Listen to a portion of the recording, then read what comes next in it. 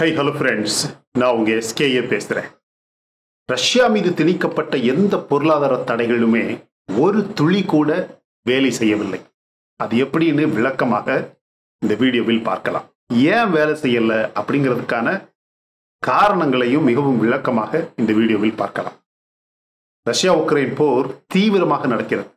இரண்டாம் உலகப் போரில் எப்படி ரஷ்யா ஒவ்வொரு கட்டம் கட்டமாக காய்களை நகர்த்தி அந்த போரை செய்ததோ அது போலவே தற்போது அதே ஸ்டைலில் தான் ஃப்ரெண்ட்ஸ் இந்த போரும் நடக்குது. உக்ரைனில் எல்லா விதமான அழிவுகளும் நடக்கும் இன்னைக்கு உங்களுக்கே தெரியும் ஒரு பெரிய நீர் அணை குண்டு வைத்து வெடிக்கப்பட்டது. அதனால் வந்த சேதங்கள் உக்ரைன் மக்களை எந்த அளவுக்கு பாதிச்சிருக்கு அப்படின்னு கேட்டிங்கன்னா கெர்சன் நகரில் ஆயிரக்கணக்கான மக்கள் பாதிக்கப்பட்டிருக்காங்க. ஒரு பெரிய கவலைக்கான ஒரு விஷயம். இதுக்கு எல்லாமே காரணம் அந்த ஜெலன்ஸ்கி தான். இரண்டாயிரத்தி இருபத்தி இரண்டு அதாவது சென்ற வருடம் பிப்ரவரி இருபத்தி ஐந்தாம் தேதி அன்று ரஷ்யா உக்ரைன் மீது ஒரு முழு அளவிலான படையெடுப்பை தொடங்கிய அடுத்த நாளே ஒரே ஒரு நாள் கழித்து அமெரிக்காவும் நேட்டோவும் ஐரோப்பிய நாடுகளும் இன்னும் ஒரு சில நாடுகளும் இணைந்து ரஷ்யாவுக்கு எதிராக வரலாற்றில் அதுவரை இல்லாத அளவுக்கு அதுவரை செய்திராத அளவுக்கு பெரிய பெரிய பொருளாதார தடைகளை அறிமுகப்படுத்தியது. இந்த சாங்ஷன்ஸ் அனைத்துமே அந்த நடவடிக்கைகள் அனைத்துமே ரஷ்யாவுக்கு எதிராக ரஷ்யாவின் போர் முயற்சிக்கு ரஷ்யாவின் மிலிட்டரிக்கு ரஷ்யாவின் அதிபர் புட்டின் மற்றும் அவரது மிக நெருக்கமான வட்டாரத்தில் மிகப்பெரிய மிக கடுமையான விளைவுகளை ஆபத்தை ஏற்படுத்தும் என்ற தெளிவான செய்தியை ரஷ்யாவுக்கு ரஷ்யாவுக்கு ஆதரவு கொடுக்க விரும்பும் நாடுகளுக்கும் இந்த பொருளாதார தடைகளை ஒரு பெரிய அபாய செய்தியாக அனுப்புவதை நோக்கமாக கொண்டிருந்தது அந்த பொருளாதார தடைகள். ரஷ்ய ஜனாதிபதி விளாடிமிர் புட்டின் அவர்களின் close circle businessman arms and weapon dealers oil and gas suppliers மற்ற ரஷ்ய நிறுவனங்கள் இன்னும் பல ரஷ்ய பொருளாதாரத்தை பாதுகாக்கக்கூடிய பல துறைகளை குறிவைக்கும் திட்டத்துடன் வேண்டுமென்றே இந்த பொருளாதார தடைகள் செய்யப்பட்டது. தொடர்ந்து அடுத்தடுத்த மாதங்களில் ரஷ்யாவுக்கு எதிரான பொருளாதார தடைகள் அல்மோஸ்ட் எட்டு முறை விரிவுபடுத்தப்பட்டது. இது ரஷ்யா பொதுவாக ஐரோப்பிய நாடுகளுக்கு சற்று அதிகமான விலையில் ஏற்றுமதி செய்யும் ஆயில் அண்ட் கேஸ் வியாபாரத்தை பாதிக்க ஆரம்பித்தது. அது மட்டுமல்ல உக்ரைன் மீதான போரில் வெற்றி பெற ரஷ்யாவுக்கு தேவைப்படும் ஆயுதங்களை தயாரிப்பதற்கான ரஷ்யாவின் மேனுஃபேக்சரிங் சக்தியை கட்டுப்படுத்த வேண்டும் என்று இந்த சாங்ஷன்ஸ் செய்யப்பட்டது. அப்படியே நிறுத்திவிடவில்லை. ரஷ்யாவின் ஆக்கிரமிப்பும் தாக்குதலும் குறைவதற்கான எந்த அறிகுறியுமே ரஷ்யா காட்டாத நிலையில் ஐரோப்பிய ஒன்றியம் தொடர்ந்து புதிய பொருளாதார தடைகளை விதித்துக் கொண்டே இருந்தது. ஆனால் மிகப்பெரிய பரந்த அளவிலான சாங்ஷன் நடவடிக்கைகள் ரஷ்யா மீது திணிக்கப்பட்ட போதிலும் அது சரியாக வேலை செய்கிறதா இல்லையா என்பதை கன்ஃபார்ம் செய்வதற்கு அமெரிக்கா மற்றும் பிரிட்டன் போன்ற நாடுகள் தொடர்ந்து முயற்சி செய்த பிறகும் கூட இப்போது திடீரென புதியதாக வந்திருக்கும் ரிப்போர்ட் என்னன்னு பாருங்க. அந்த சாங்ஷன்ஸ் முயற்சி தோல்வி அடைந்து விட்டதாக ஒரு பெரிய ஷாக்கிங் ரிப்போர்ட் வெளிவந்துள்ளது. ரஷ்ய பொருளாதாரம் எதிர்பார்த்ததை விட மிகவும் நாசுக்கான விதத்தில் இந்த பொருளாதார தடைகளை அட்ஜஸ்ட் செய்து விட்டதாக தெரிகிறது. மேலும் ரஷ்ய ராணுவம் உக்ரைன் நாட்டின் சிவிலியன் இன்ஃப்ராஸ்ட்ரக்சர் உக்ரைன் நாட்டின் ராணுவ இலக்குகளை அழிக்கவும் உக்ரைனிய மக்களை அச்சுறுத்தும் அளவில் தாக்குதல்களை ரஷ்யா செய்வதற்கு தேவையான எல்லா பொருளாதார உதவிகளுமே ரஷ்யாவுக்கு கிடைத்துள்ளது. மேற்கத்திய நாடுகளால் தடை செய்யப்பட்ட பொருட்கள் அனைத்துமே இன்னும் கூட ரஷ்யாவுக்கு உக்ரைனில் போர்க்களத்தில் பயன்படுத்தும் விதத்தில் தொடர்ந்து கிடைக்கிறது. இதுக்கு மேல என்ன வேணும்னு சொல்லுங்க ஃப்ரெண்ட்ஸ் நீங்களே நல்லா யோசிச்சு பாருங்க. பொருளாதார தடைகள் என்பது அது எப்படி செயல்பட வேண்டுமோ அப்படி செயல்பட வேண்டும். சாங்ஷன்ஸ் என்பது செயல்பட வேண்டிய விதத்தில் செயல்படவில்லை என்றால் அதற்காக அமெரிக்கா போன்ற உலகின் பெரிய வல்லரசு எடுத்த முயற்சியால் எந்த பலனும் கிடையாது. அது மட்டுமல்ல அமெரிக்கா போன்ற வல்லரசின் மதிப்பு கெட்டுவிடும் மானம் போய்விடும். நார்வே நாட்டை சேர்ந்த ரிக்ஸ் கன்சல்டன்சி செய்யும் கோரிஸ்கி என்ற நிறுவனம் சமீபத்தில் ஒரு ரிப்போர்ட் வெளியிட்டுள்ளது. அது உண்மையிலேயே ஷாக்கிங். அந்த ரிப்போர்ட் சொல்வது இந்த மேற்கத்திய நாடுகளின் எந்த பொருளாதார தடைகளுமே ரஷ்யாவின் பொருளாதாரத்தை பாதிக்கவே இல்லை. அட்லீஸ்ட் இவர்கள் எதிர்பார்த்த அளவுக்கு பாதிக்கவில்லை. பனிரெண்டு ஐரோப்பிய ஒன்றிய நாடுகள் நார்வே இங்கிலாந்து அமெரிக்கா மற்றும் ஜப்பான் ஆகிய நாடுகளின் டேட்டாவை எடுத்து ரிசர்ச் செய்தபோது ரஷ்யா மீதான ஏற்றுமதி தடைகளை மீறி இரண்டாயிரத்தி இருபத்தி இரண்டாம் ஆண்டில் சாங்ஷன் செய்த பிறகு ஆச்சரியப்படும் அளவில் எட்டு பில்லியன் யூரோக்கள் almost eight point five billion dollar வியாபாரம் ரஷ்யாவுடன் ஒரு காலாண்டில் மட்டுமே செய்யப்பட்டுள்ளது. இது வெளியில் தெரியக்கூடிய நம்பர்ஸ் இந்த நிறுவனம் ஆய்வு செய்த நாடுகளில் ஜெர்மனி தான் ரஷ்யாவுக்கு அதிகமான தடை செய்யப்பட்ட பொருட்களை அதிக அளவில் ஏற்றுமதி செய்து ரஷ்யாவுக்கு கொடுத்த நாடாக இருக்கிறது. இரண்டாவதாக அதிகமாக ரஷ்யாவுக்கு அதிகமான பொருட்களை கொடுப்பது லித்துவேனியா. ஜெர்மனி லித்துவேனியா என இரண்டு நாடுகள் மட்டுமே ரஷ்யாவுக்கு கொடுக்கக்கூடாத கிடைக்கக்கூடாத மேற்கத்திய பொருட்களில் பாதியை ரஷ்யாவுக்கு கொடுத்துள்ளதாக இந்த புதிய ரிப்போர்ட்டில் சொல்லப்பட்டுள்ளது. ஐரோப்பிய வணிகங்கள் முக்கியமாக ஜெர்மன் நிறுவனங்கள் அவர்களது தயாரிப்புகளை பொருட்களை ரஷ்யாவுக்கு விற்க மூன்றாம் நாடுகளை பயன்படுத்துகிறது என்ற உண்மையை இந்த ஆராய்ச்சி சொல்லியுள்ளது.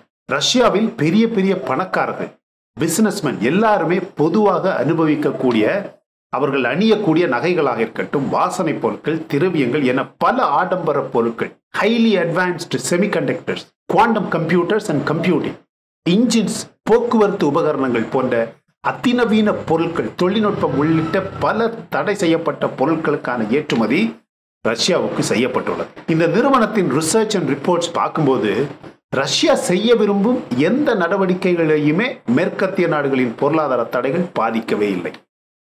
இரண்டாயிரத்தி இருபத்தி இரண்டாம் ஆண்டின் தொடக்கத்தில் ரஷ்யாவுக்கு செல்ல வேண்டிய பல பொருட்களின் ஏற்றுமதி ஓரளவுக்கு சரிந்தது அப்படின்னு சொல்லலாம்.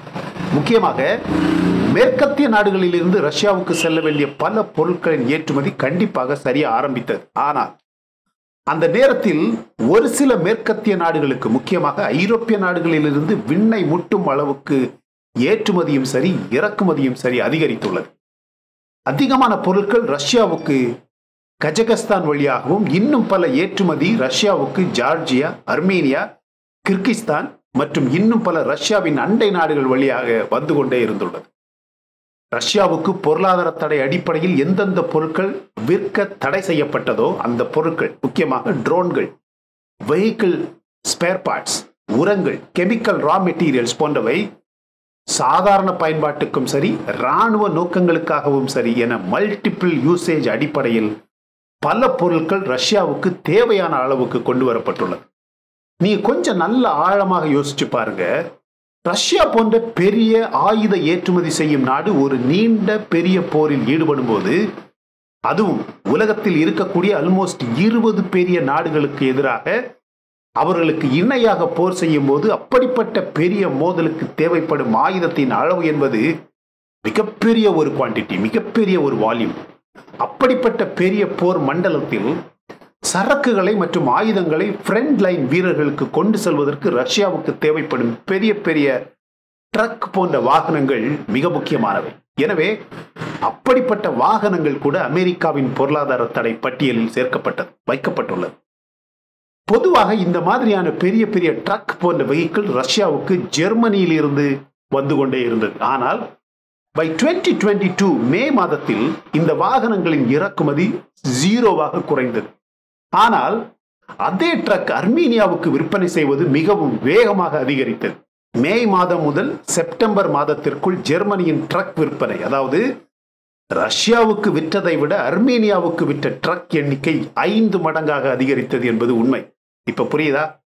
அதே நேரத்தில் இந்தியாவின் அதிகமான ஆயுதங்களும் ஏவுகணைகளும் அர்மேனியாவுக்கு அதிகமாக விற்கப்பட்டது. ஞாபகம் இருக்கா? பல கெமிக்கல் மெட்டீரியல்ஸ் ரசாயனங்கள் உரங்கள் உடல் கவசங்கள் இராணுவ மற்றும் பைலட்டுகளுக்கான யூனிஃபார்ம்ஸ் பல இராணுவ ஆயுதங்களின் ஸ்பேர் பார்ட்ஸ் இப்படி எல்லா பொருட்களுமே தடைகளை மீறி ரஷ்யாவுக்கு வந்துள்ளது. ஜூன் இரண்டாயிரத்தி இருபத்தி இரண்டு வரை ஜெர்மனி கஜகஸ்தானுக்கு கிட்டத்தட்ட எந்த விதமான கெமிக்கல் ரா மெட்டீரியல்ஸ் விற்பனை செய்ததே கிடையாது. ஆனால் பொருளாதார தடைகள் அறிமுகப்படுத்தப்பட்ட பிறகு கஜகஸ்தானின் இந்த ரசாயனங்களுக்கான தேவை பல மடங்கு வெடித்தது என்று ஆதாரங்கள் வெளிவந்துள்ளது. வெறும் அக்டோபர் மாதத்தில் கஜகஸ்தான் ஜெர்மன் உற்பத்தியாளர்களிடமிருந்து இருநூறு டன் கெமிக்கல் ரா மெட்டீரியல்களை இறக்குமதி செய்துள்ளது. லித்வேனியாவும் ரஷ்யாவுக்கு தடை செய்யப்பட்ட பொருட்களை ஏற்றுமதி செய்துள்ளது. இன்னும் கூட அது நடக்கிறது.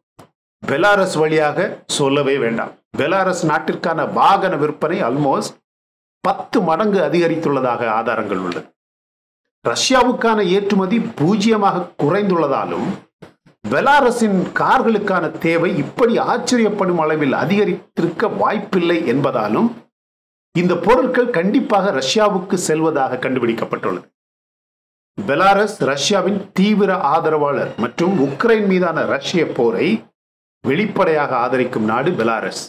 மற்ற அண்டை நாடுகள் வெளிப்படையாக பேசவில்லை என்றாலும் கண்டிப்பாக ரஷ்யாவுக்கு இறக்குமதியில் முழுமையாக உதவுகிறது.